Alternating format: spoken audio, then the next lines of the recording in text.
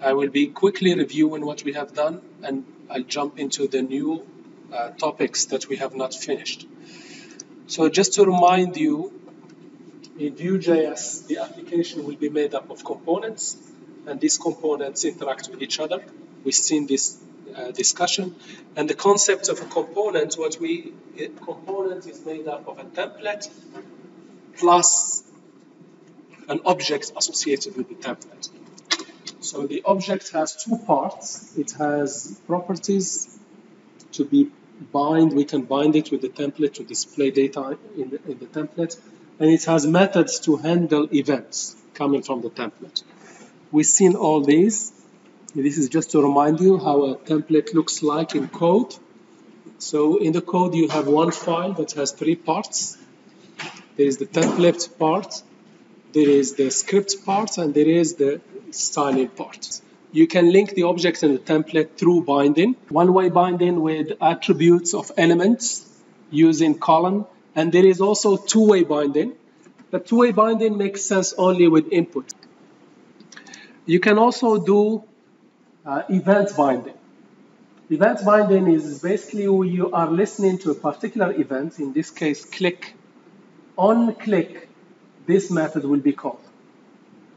A shortcut to do this is you come to the event, in front of it you add the at and equals to the, to the method that will be called when this event happens.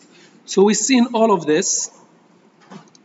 We also seen how I can render a list in a template. Here I have this uh, paragraph and this paragraph is conditionally displayed. This paragraph will only be displayed if this heroes array, the length of this array is greater than 3. Otherwise, this paragraph will not be displayed. And this is called conditional, conditional rendering.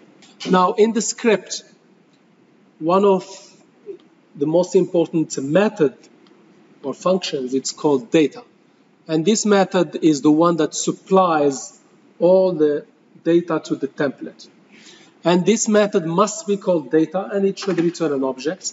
And inside this object, what you do here, you put the data that you want to be to make, to make available to the template. You can have a computed properties.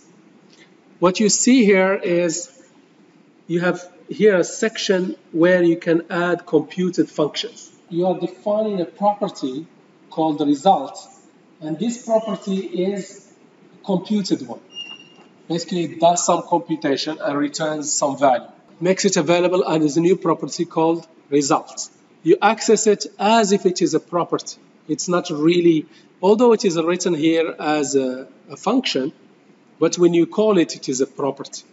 I am binding this input with A, I am binding the second input with B, and then I'm creating a computed property called results.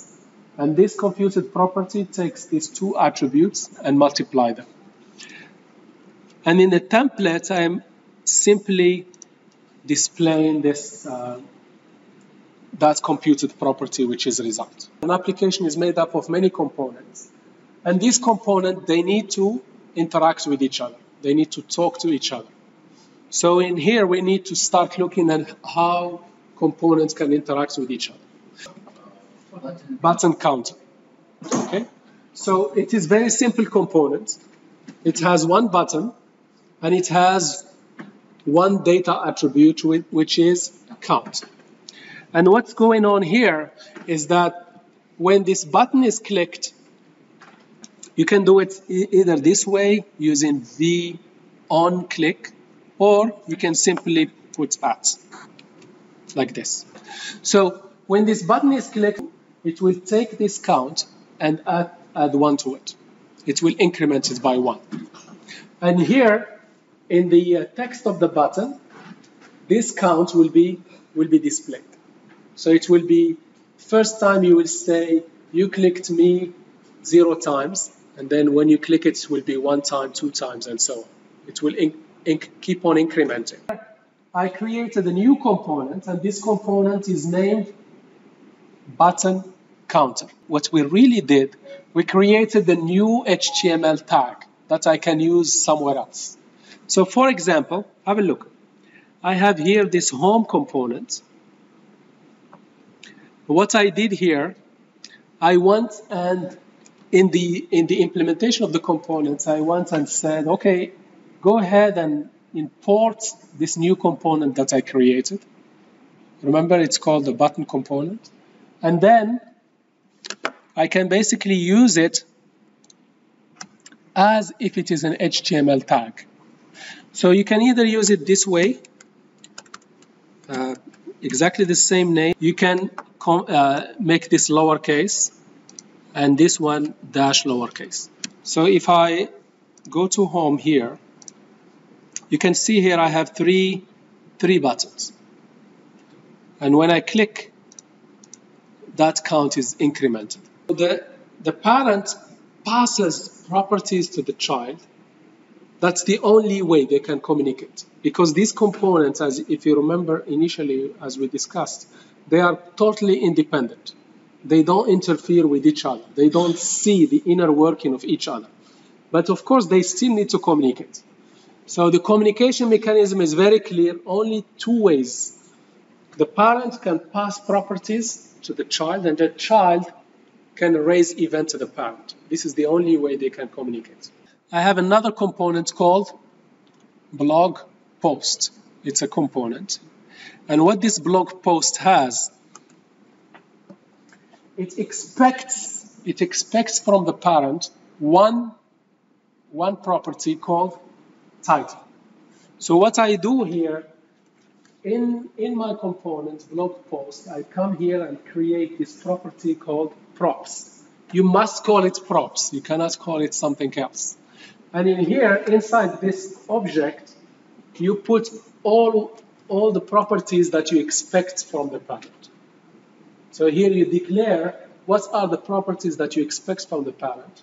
And you, if you optionally, you can specify the type. In this case, the title is a string. And then you can make use of it. It's like a, a property. You can make use of it in the template. What I'm doing here, I'm doing here, going here and saying, uh, get this title and display it in a paragraph. This is the one-way communication from the parent to the child. For me to use this component, I have, as I, as I, as I explained before, I have to register it. How do I register it? Two steps. Import it, and then list it in this components. Then I can make use of it as if it is a tag. So let me make use of it here.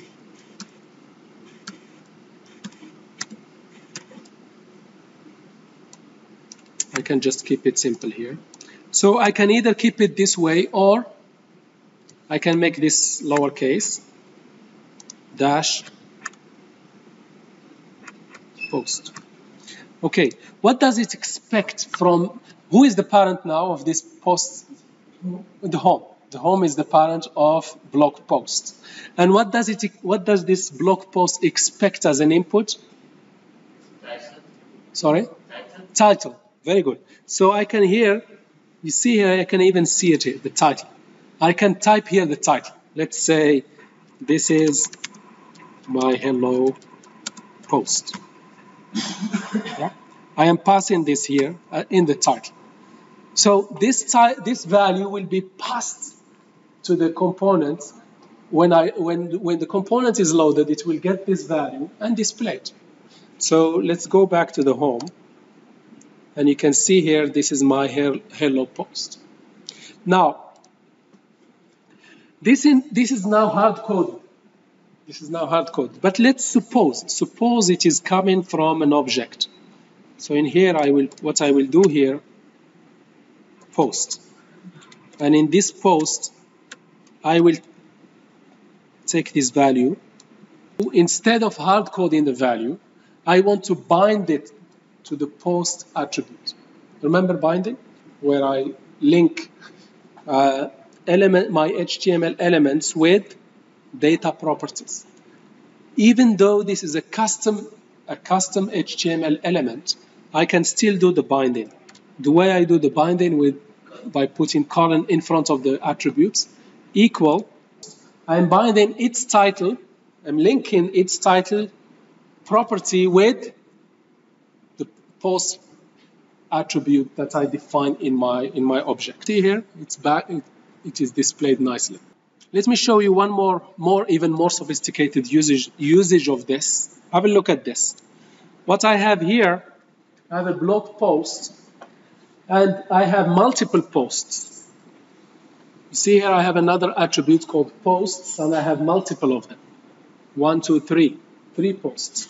So what I want to do here for each post, I want to repeat, send, repeat sending the title uh, to this blog post uh, child component. Here I'll do this v-for, if you remember we just discussed it. This is to look through each post in posts. And then I do bind. I, I can either do here v-bind or simply colon bind. So the only way the parent can send information to the child is through this special property called props. Now, if the child wants to communicate to the parent, how they can do so? By raising an event or by emitting an event. So here is a, an example. So on click, on click, I created here a button. When this button is clicked, I emit an event. The way I I emit, uh, emit an event. There are multiple ways I can do it. I can create a method here.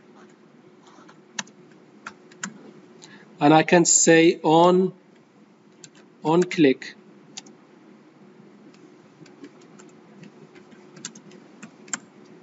And I can say here this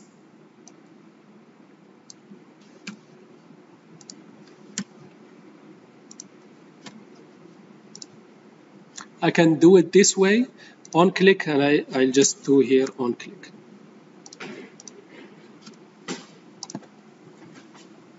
Either way, I, either I define it as a function and then call it, or I, because this implementation is super simple, it's one line, I can just copy this and paste it here. It's up to me. At the end of the day, there is a special function called dollar $emit and in that function, what you can do is you raise an event. This is the name of the event. And this one is a parameter. I'm raising an event. I say enlarge text event. And this is the this is the value by which I want to enlarge the text. Okay, so this is how I raise an event. Now the parent can listen to this event and they can do react to it, do something about it. The way we listen to events is by using v on, or another way of doing it by simply adding at. On when this event happens, this is what I want to do. What I want to do, I will increase the font by by v event. What I can do here, I can call a function called on enlarge or enlarge text. It's getting this font here and increasing it. Event is whatever is arrayed emit an, when the child emits an event, what are the two parameters you pass to the emits? The name of the event and a value. Could be anything. In this case, it is a simple number. It could be an object, could blog post, component, it can erase an event. What's the name of the event? Enlarge text. How do I register a method to handle the event? I come to the event, in front of it I put at equals the name of the event, uh, the name of the method that will handle the event. This communication between the parent and the child. So the parent do it passes data to the child through the props, uh, through uh, through the, uh, what do we call them? Through the properties that the child has declared under props. And from the child to the parent, the child can erase event to the parent using this special method called at emit. When, you, when the child raises an event to the parent, they can not only specify the name of the event, but also they can specify some data that re get returned back to the parent.